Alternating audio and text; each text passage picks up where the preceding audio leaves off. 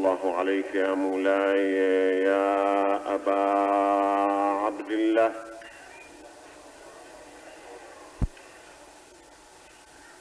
صلى الله عليك يا مولاي وابن مولاي يا ابن رسول الله. يا رحمة الله الواسعة.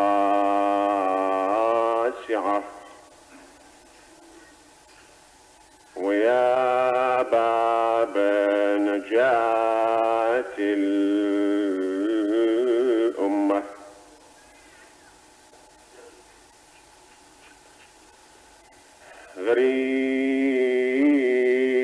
غريب يا مظلوم كربلاء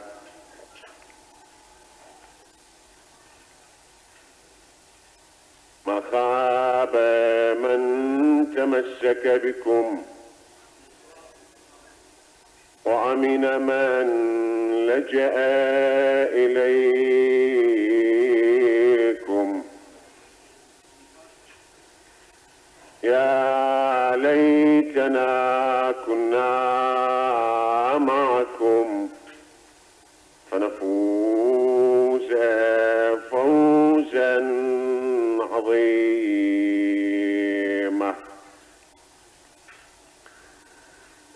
عز من قائل في محكم كتابه ومنيف خطابه. بسم الله الرحمن الرحيم. ولقد نصركم الله ببدر وأنتم أذلة. فاتقوا الله لعلكم تشكرون. إذ تقول للمؤمنين ألن يكفيكم ربكم أن يمدكم بثلاثة آلاف من الملائكة منزلين.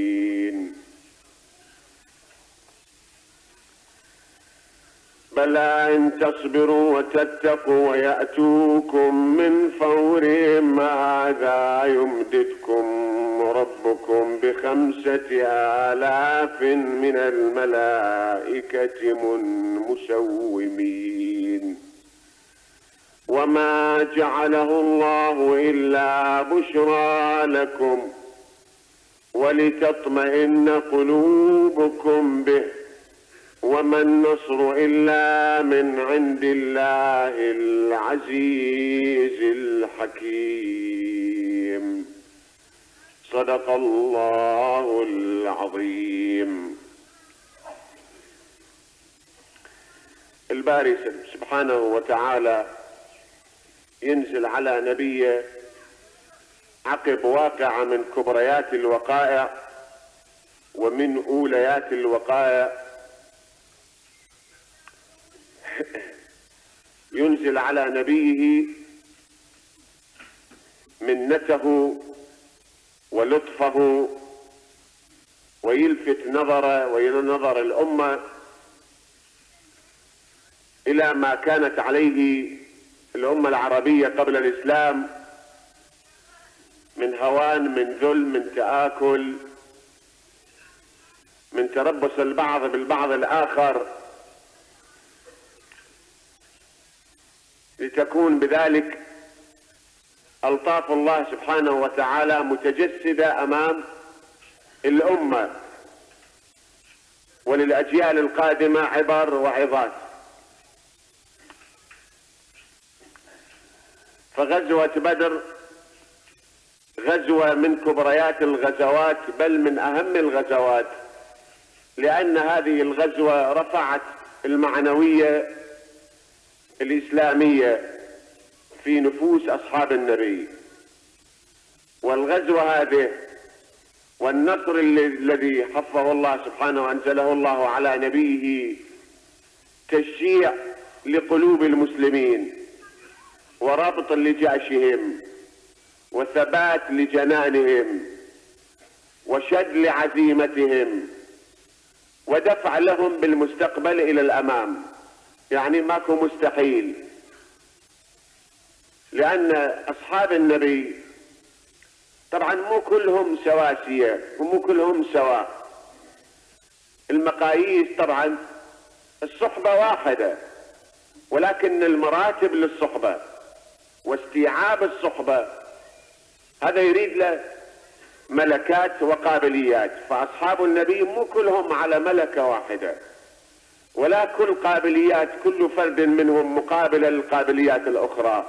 في الفرد الآخر. فيهم الذكي فيهم المستوعب فيهم المجاهد فيهم السباق للفضيلة لعمل الخير. فيهم لا نسب مئوية متفاوتة فيما بينهم. وفيهم أم أبو سفيان وفيهم ملتفت النهازين للفرس وفيهم المتقلبي الأمزجة وفيهم معاوية وغير معاوية وأشباه ذلك. ويكفي أن فيهم سمرة ابن جندب اللي نهايته تلويث لسمعة كل صحابي تقريبا ومساس لكرامة كل صحابي. ولقد نصركم الله ببدر وأنتم أذلة. يعني كنتم على ذل طبعا الفقر ذل الجهل ذل التآكل الاجتماعي ذل. التناحر الاجتماعي ذل. عبادة الوثن ذل. شايف؟ إلى آخر المطاف هذا. أرب يبول الثعلبان برأسه لقد ذل من بالت عليه الثعالب.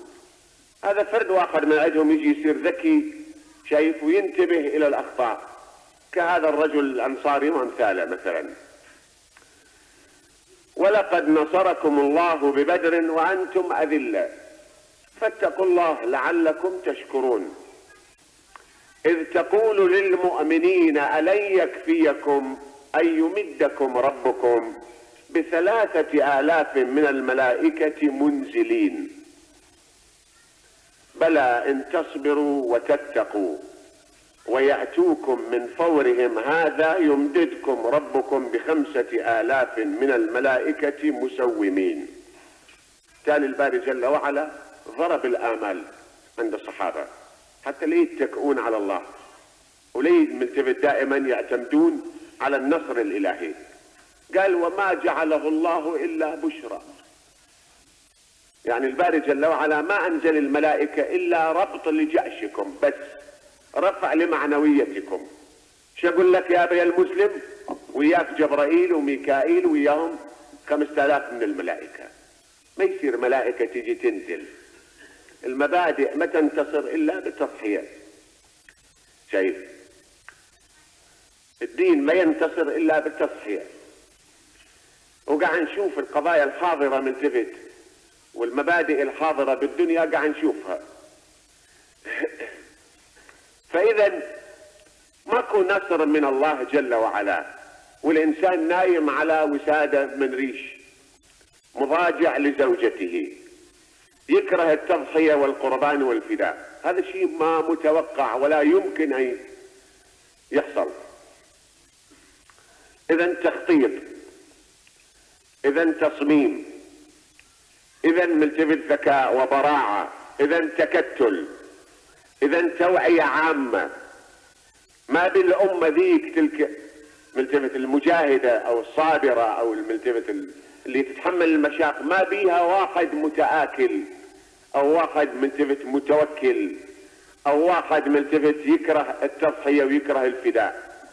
فالأمة إذا صارت بهذه المثابة لابد أن تفتح لابد أن توصل إلى غاياتها. وعندنا نماذج ملتفت من اليهود من الصهاينة من الأمم الأخرى من الشعوب الأخرى. مدارس كل يوم الشعوب الأخرى ملتفت تولد عندنا مدارس. وتجيب لنا ملتفت سجل حافل. وإلا هذول اليهود أتعس أمة كانت على وجه الأرض وأكثر الأمم ملتفت سحق وتشريد شايف. لكن هل هالعالم هذا أو هالكراهيه أو هالاضطهادات اللي صارت على اليهود صهرت اليهود؟ ما أذابتهم وما تذوبوا وظلوا متكتلين كالبنيان المرصوص. يئن يهودي واحد في شرق الدنيا تئن اليهودية إلى في غربها. والنصرة ويد المساعدة ويد النجدة تجيه شايف ولذلك اضطهدت اضطهدتهم ملتفة الملوك والأباطرة والجبابرة في روسيا وفي إنجلترا وفي العالم ملتفت الإيطالي وفي فرنسا مذابح صارت من عندهم. بحيث كان الرجل اليهودي الحاخام اليهودي يجيبوه في أعياد الميلاد في كل مدينة ما يناسب ذيك المدينة من رجل دين يهود. ساعة الميلاد يصفع على وجهه. غير وجه التاريخ. خلوا لك الفاتيكان ملتفت والكرادلة بأجمعهم والمجمع المسكوني كله يفتي ويصدر ويغير معالم التاريخ من أن اليهود أبرياء من دم السيد المسيح وأن الدولة الرومانية هي المسؤولة وبيلاطس هو المسؤول عن دم دم اليسوع. هذه من قوتهم ومن نفوذهم.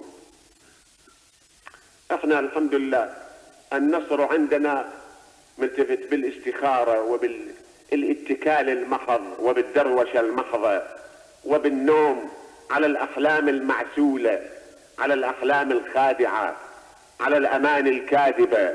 نغمس على صلاح الدين الأيوبي وصلاح الدين فرد يوم يوما من الأيام قرنا من القرون سحق ملتفت الصليبيين ودفعهم. صلاح الدين الأيوبي صحيح فاتح وصلاح الدين الأيوبي حسنة من حسنات المسلمين. لا شك في ذلك. لكن صلاح الدين الأيوبي كان في عصر ملتفت يقابل الصليبيين بنفس المنطق ونفس القوة. يعني قابل المسيحية قابل الصليبية بنفس منطقهم ومنطلقاتهم وقوتهم. سيف سيف رمح رمح إلى آخره. اليوم الآية انعكست ثم الصليبيين ما كانوا متغلغلين بالريف الفلسطيني. شايف ولا بالجبال الفلسطينية ولا متغلغلين ملتفت في القرى والأرياف بنوا مدن وعواصم وتجمعوا هناك كمستعمرات بس. أما الريف بقي في أيدي العرب وفي أيدي المسلمين. ولذلك لما اجت ضربة صلاح الدين الأيوبي ما كان للصليبية مدد من الريف. يعني مدد جذور اجتماعية ما كان عندهم. ضربهم الضربة القاضية وانتهت. أما الصهيونية الساجاية بذكاء الدنيا. وهذا مو يأس مو بعث على اليأس ومو بعث على القنوط ومو بعث على الهزيمة. هاي مو روح انهزامية وإنما روح توعية بشكل بأسلوب سالب لا أكثر ولا أقل بطريقة سالبة يعني الأمة العربية إذا ما تصير كفوءة بمستوى الصهيونية من الذكاء ومن التنظيم شايف؟ ومن عدم صرف الطاقات يمنى ويسرى وتآمر بعضنا على البعض الآخر لا يمكن أن نسحق إسرائيل. لا يمكن ولا بالحلم. وهاي الجهود التي تبذل وهاي الطاقات التي تصرف وتروح بدد وذولاك يضحكون.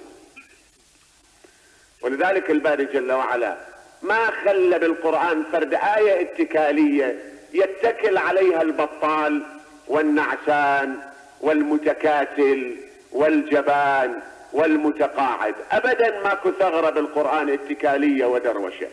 كل ما في القرآن بطولات. وكل ما في القرآن ملتفت إيه، بناء ورصف وتنسيق وتنظيم وتكتل وانصهار الأمة في بوتقة واحدة وما جعله الله إلا بشرى لكم ولتطمئن قلوبكم به. وما النصر إلا من عند الله العزيز الحكيم. طبعا الله ما ينصر الجبان ولا ينصر المتآكل ولا ينصر الحاقد وإنما ينصر المضحي والمصمم شايف والثابت والذي يكره ملتفت الدعاء ويحب الفداء. هذه نصرة. اولا غزوة النبي. ما كانت غزوة النبي يبتدئ قريش بالقتال. الإسلام ظاهرا دين حرب دين سيف. ولذلك تجي للعلم السعودي تلقى سيفين على العلم. يتخذون من هاي الوسيلة أو من هذا الشعار الأمم الأخرى أن الإسلام قائم على السيف قائم على الذبح قائم على الإكراه قائم على القتل. خلينا نشوف يا دين من الأديان ملتفت ما قام على السيف. هذا الدين المسيحي ما انتشر بالسيف. ما اجت الدولة البيزنطية ملتفت اعتنقت المسيحية. وأجبرت أوروبا أن تركع ملتفت بحد السيف. مو بعدين الفاتيكان والإمبراطورية الرومانية بدأت تطبق الدين المسيحي بالسيف على الأمم الأخرى على النورماد والجرمان وغيرهم.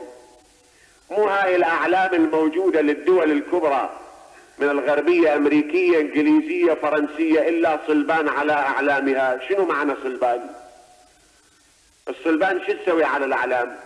وهل هي إلا إعلان حرب على الأمم الأخرى؟ ما كانت أوروبا مئة بالمئة. ثم الآن العقائد في الدنيا بيش تطبق؟ أي عقيدة في الدنيا الآن تطبق في عصر الحضارة والديمقراطية؟ وهيئة الأمم المتحدة وأمثال ذلك. ليش قاعد تطبق المبادئ؟ اصغي إلها بالعقل والفكر والقلب. تسمع الأنين في الدنيا وتسمع الصراخ في الدنيا. ليش قاعد تطبق؟ باللين بالهوادة بالالتماس بالتفهم وبالإكراه بالجبر. كل المبادئ لا تستثني مبدأ في الدنيا. الدكتاتورية الفلانية مثلا. نظرية فلان فيلسوف شنو معنى الدكتاتورية الفلانية؟ للصنف الفلاني من ال من ال من الناس من الطبقات الاجتماعية. معنى دكتاتورية شنو؟ يكفي التعبير وهذا كافي. ثم النبي روح له الفداء مبعوث علما لشعب ناضج من الملائكة. لو قدر للنبي صلى الله عليه وآله وسلم أن يعيش مليون سنة بمكة المكرمة. ولا يمتشق حسام. من يؤمن بي؟ أبو سفيان يؤمن أبو لهب يؤمن المغيرة يؤمن. من يؤمن؟ لغة العرب لغة قوة. كل مجتمع ملتفت بعد بدائي أو بدوي تحتاج إلى قوة. يلا ذاك الوقت يسمع الدعوة ويصغي إلى الدعوة. ثم مع هذا آمنا أن الدين الإسلامي دين سيف. خلينا نجي لهذا السيف نشوفه. نفصل معارك النبي هي القدوة. أما معارك الخلفاء بالنسبة للعصر الأموي مو قدوة. معارك العباسيين مو قدوة. معارك الملتفت العثمانيين مو قدوة. المماليك غير المماليك فتوحاتهم كلها فلس في نظر الشارع المقدس ما تسوى كلها للعدوان وكلها للبغي وانتهاب الحسناوات وامتلاك الغلمة ملتفت وبيعهم بالسوق السوداء والتوسعة في الأراضي وكنز الأموال للخلفاء للملوك لشهواتهم. هذا الإسلام بريء من عندهم جملة وتفصيلا. عندنا العصر النبوي والعصر الملتفت الخلفاء الأربعة الذين جاءوا بعد النبي صلى الله عليه وآله وسلم. هذول القدوة وهذول يجب أن يكونوا ملتفت مشرق والحكم يكون على هالفترة هذه. وإلا بعد ذلك صارت القضية غزو وفتوح. النبي صلى الله عليه وآله وسلم وهو النموذج للدين الاسلامي الحقيقي أول وآخر. تعال النبي هاي غزوات أولى الغزوات بدر. هو فاتح قريش أم جعلت قريش تتجهز ضد النبي؟ هو اجى باغت قريش بالقتال؟ شايف؟ هو اجى استعد لقريش يو قريش نفسها أرسلت رأس مال ضخم إلى الشام للتجارة يتكرر هذا المال أربع خمس مرات ملتفت أضعاف ويرجع إلى مكة يتخذون من عنده وسيلة للسلاح شراء السلاح الخيل العبيد الجياع يحشدوهم ضد النبي صلى الله عليه وآله وسلم. فمعناه هاي القافلة قافلة نواة لحرب وقافلة تخطو إلى الحرب. أي مبدأ من المبادئ يستطيع أن يضرب خصمه ويقف مكتوف اليدين وهو يرى ملتفت الأموال والذهب والفضة يسفر بها إلى الشام لتعود أموال ضخمة لتجهز بها الرجال. ثم يقف مكتوف اليدين. منه فضربة النبي في معركة بدر كانت ضربة وقائية وما كانت عدوانية. وما كانت ابتدائية يعني النبي ما كان يبتدئ بالقتال. لا في معركة بدر وهي أولى المعارك اللي جرت وراءها سلسلة من المعارك. تفرعت عن هذه المعركة. معركة أحد متفرعة من معركة بدر. الخندق متفرعة من أحد وبدر أيضا. بالأخير إلى فتح مكة إلى إسقاط حصون اليهود انتهت المعارك الداخلية. صار النبي يباشر الخارج. فإذا معركة بدر معركة وقائية ليس إلا. ومع ذلك وإن جنحوا للسلم فاجنح لها. وما أنت وما على الرسول إلا البلاغ. إنما أنت منذر ولكل قوم هاد. يا محمد أفأنت تكره الناس حتى يكونوا مؤمنين؟ وما أنت عليهم بوكيل. بس تدعو بس فقط. ما إلك دور إلا تدعو إلى الله. بل اللي يقف في طريقك للدعوة تكافحه مهما ملتفت يبلغ الحال إلى أن تقدر تقهر ذاك الوقت تدعو إلى الله. أما إجبار ماكو. بعدين لما ملك النبي قريش والعرب هنا ماكو هوادة. مشرك بالعرب يجب أن لا يبقى. لأن الدين الإسلامي إجا أولا للعرب. فإذا العربي تجي الدعوة الإلهية ويبقى مصر على شرك لازم ذبح. غير الذبح ما يعالج شيء. أما بالنسبة للأمم الأخرى للفرس غير الفرس للرومان غير الرومان ماكو الحكي وإنما أكو تخيير جزية. والجزية ما بها إذلال. المسلم هم يدفع جزية بشكل آخر. مو اسمها جزية اسمها ضريبة اسمها صدقة اسمها خمس أمثال ذلك. ما يصير اليهودي والمسيحي والصابئي والمجوسي يعيش في ظل المسلمين. وفي رفاهيتهم ملتفت ويؤدي طقوسه الدينية وكنائس مبنية ونواقيس الدق ثم لا يعطي بعد ذلك ضريبة. منو من عندنا الآن ما يعطي ضريبة للدولة؟ الدولة منين تعيش لعب الدولة تريد أمن الدولة تريد استخبارات الدولة تريد ملتفت بناء جسور بناء مصانع بناء مدارس. منين إذا إذا ما أنا ما أنطي وأنت ما تنطي وذاك ما ينطي؟ دولة تتفلش يعني. فالدولة الإسلامية قائمة على من على الزكاة قائمة على الضرائب ومن جملتهم ذول الأقليات. إذا صار عدوان عليهم في زمن بني أمية العدوان وقع على المسلمين هم أنفسهم. الحجاج بن يوسف الثقفي اضطهد المؤمنين واضطهد المسلمين واضطهد إذا اضطهد اليهود أو أمثال ذلك. ففي الهوى سوا إحنا وياهم في الهوى سوا إحنا ما كنا نعيش ملتفت في رفاهية واليهود كانوا يعيشون في ضنك. أين؟ الدكتاتوريات أو الطغيان أو الجبروت ما يميز مسلم ولا يهودي ولا مسيحي. وقلنا العصر النبوي وعصر الخلفاء الأربعة هو المقياس الصحيح. وأما الخلفاء وعصر عمر بن عبد العزيز الفترة القصيرة هذه سنتين. هذا لا أكثر ولا أقل. والباقي كله إمبراطورية وكله ملتفت ساسانية وكله كسروية. إي واحدهم تلقاه أنا ربكم الأعلى وإن صام وصلى. المهم فالنبي يروح له الفداء لم يبادئ قريش مبادئة. إذا تريد تفلفل الأسباب والمسببات تلقى قريش هي المبادئة للنبي طردت النبي واضطهدت أصحابه وعذبتهم وشردوا وراحوا إلى الحبشة وقسم راحوا إلى عشائرهم وقسم إجوا للمدينة. وها هي قريش الآن؟ تتجهز لتضرب ضربتها النبي بأبي وأمي وتسحق الإسلام. النبي يظل صامت هنا ساكت حتى يؤخذ غفلة وغرة. معركة أحد معركة قلنا متفرعة من بدر. إجت قريش تأخذ بثأرها. ثم من المحاصر؟ قريش حاصرها النبي أم قريش حاصرت النبي نفسه؟ أولا بدر 160 كيلو عن المدينة. أحد خو داخل المدينة. الخندق داخل المدينة. زين إذا معارك شو يسموهن النبي غزاهم في عقر دارهم أم غزوه في عقر داره على كل فالباري جل وعلا يقولهم للمسلمين الحياة ما تبنى إلا بالدموع إلا بالجهود إلا بالعرق إلا بالسهر. إلا بالتضحية أما واحدكم يقعد بداره ويريد الله ملتفت ينصره ويريد الله سبحانه وتعالى يقاتل دونه. كما قال بنو إسرائيل اذهب أنت وربك فقاتلا إنا ها هنا قاعدون. هذا مو وارد بالإسلام أبدا كما مو وارد في الدين اليهودي.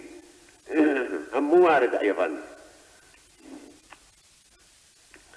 على كل وما جعله الله إلا بشرى ولتطمئن قلوبكم به وما النصر إلا من عند الله العزيز الحكيم. الدنيا تؤخذ غلاب وما استعصى على قوم منال إذا الإقدام كان لهم ركابا. الأمة ملتفت الجبانة تؤخذ والأمة القوية تصير منيعة. ولذلك الآن اليهود يستعملون نفس الطريقة نفس الأسلوب اللي استعملتها النازية ضدها هي تستعمل نفس الطرق نفس الأساليب قاعد يستعملوها ويا العرب ويا العالم كله. أما الشعوب الدنيا بأسرها أمريكا ولا غير أمريكا؟ في مصطلح اليهود شعوب من الغويم شعوب من البربر من الوحوش. نواميسهم وأموالهم وأوطانهم وأمثال ذلك كلها مباحة للصهيونية العالمية. على أي حال. تجي للمسلمين.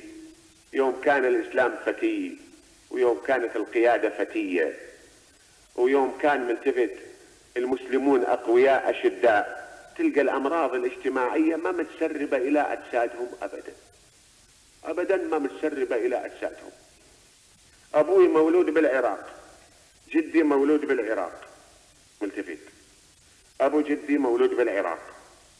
يجي تسجيل النفوس. لسنة 34 لسنة 47 جيد. أبوي شيخ راح إلى رحمة الله.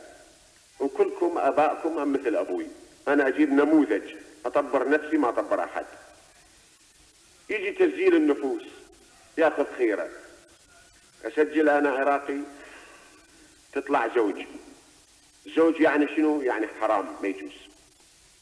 يعني الله ما يرضى. تسجل عراقي. زين يابا خير البلاد ما حملك. انت جالس بهذا البلد وتأكل من ثمارة وتأكل من من خبزة وتعيش في هواءه تشرب من ماءه تتمنى أن تدفن في هذه التربة. تأخذ خيرة على أن تتجنس ليش معنى خيرة أن تطلع بدء. مو زين. شوف أبا قيادة فكرية ماكو عندنا أبا الناس إحنا ضايعين في متاهة. طيب خمس ست مرات تطلع الخيرة مو زينة. إيش يسوي؟ مأمور النفوس يجي يدق الباب يريد يسجل. رقم الدار هذا بيت فلان. يريد يسجل النفوس. يطبب والدي للبيت. عمامته لفيه ملتفت. يقعد على الدوشك. يورث له جيجاره. مسوي له دلة مالت قهوة. شلون قهوة؟ حامضة مثل الصبغ سوداء. مسوي له شربة ممتاز شربة مايلومي من الأصلي جد ذاك مأمور النفوس مو شارب شربت شاي محضر له الجقارة محضر هي. لحيته يصبغها شيخ محترم وكر أمامها سوداء. بس تشوفه تقول هذا زين العابدين. زين. مأمور النفوس هم رجل بسيط. إجا قعد مولانا اسمكم اسم والدكم. قلت تشرب هاي السيجارة. تشرب هاي الشربت. ذاك اليوم بيبسي ماكو. اشرب هذا المدري شنو الشاي. اشرب هاي فنجان القهوة. خلص مأمور النفوس. التسجيل. هذا بسيط المأمور لابد. قال له مولاي اسمكم شنو؟ قال له مو عيب عليك. أنا سيد من رسول الله. شايب. سجل أولادي. وتسجل عائلتي بعدين يجي تجنيد يأخذوهم جندية. ما أعرف الإنجليز يأخذوهم ما أعرف السوجر يصيرون سوجر. أمشي عليك رسول الله جوز عن حالي. هذا ضارب شربت مايلومي وضارب الشاي وشارب الجيجارة وشارب قهوة ممتازة وزين العابدين قاعد يتوسل بي. شو يقول له هذا سيدنا حب ايده خلوه طلع. في أمان الله. بناء مسوي جميل على الوالد. خلوه طلع. اجت سنة 47 نفس العقلية نفس المنطق. إيش كلفت هذه؟ كلفت مئات الدنانير. كلفت الأسرة مئات الدنانير لغسل هذه العورة لغسل هاي الرجعية لغسل هاي الخيرة وآثار الخيرة آثار زوج وآثار فرد. كأن الإمام الصادق قاعد من الصبح لليل عنده هذين الصفرات ملتفت ويخطط ويستخير للناس. ولذلك روينا عنه خيرة الطيور وخيرة ذات الرقاع وخيرة السبح وأمثال ذلك. منين إجت هذا هذا يعرف الإمام الصادق؟ هذا يعرف الإمام علي؟ هذا يفهم رسول الله صلى الله عليه وآله وسلم؟ هذا منطق الدراويش ومنطق المنهزمين في الحياة والفاشلين في الحياة والذين لا فكر لهم ولا منطق لهم ولا علم لهم ولا خبرة لهم في أعماق الأمور. الدنيا ما تؤخذ إلا بالتخطيط وإلا أنا خيرة آخذ أبني حوش خيرة آخذ ما أبني حوش خيرة آخذ أشرب دواء خيرة آخذ ما أشرب دواء. معناه فوضى صارت. إذا لماذا خلق الله العقل للإنسان؟ لماذا قال الله وقل اعملوا فسيرى الله عملكم ورسوله؟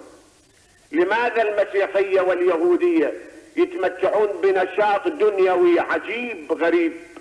طاقات هائلة في رجالهم ونسائهم وكبار